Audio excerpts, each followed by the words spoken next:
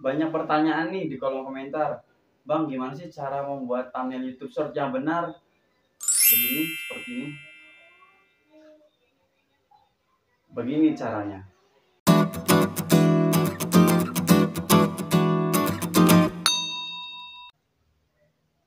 Assalamualaikum warahmatullahi wabarakatuh. Balik lagi bersama saya di channel Rumah Kita Rumah Bersama.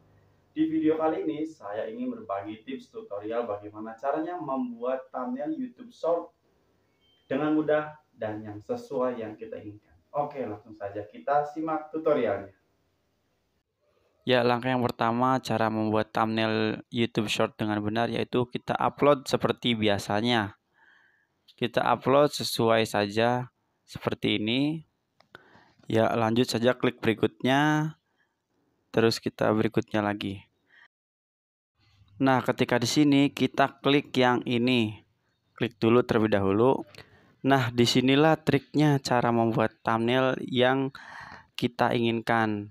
Pilih mana geser-geser saja yang ingin kita pilih jadikan thumbnail YouTube. Nah, saya akan memilih yang ini ya.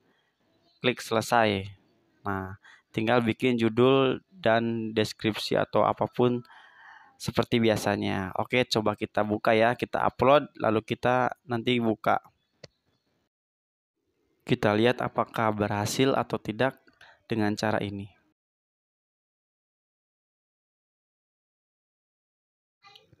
Ya, saya barusan telah mengupload dan inilah hasilnya. Kita cek di profil kita, cek video, Terus kita tunggu sebentar, langsung kita cek video short kita yang barusan.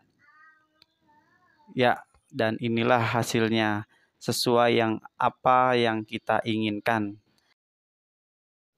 Ya, itulah tips tutorial dari saya cara membuat thumbnail YouTube short yang benar. Sesuai yang kita harapkan. Oke, terima kasih sudah menonton video ini. Semoga videonya bermanfaat. Jangan lupa like, komen, dan subscribe-nya.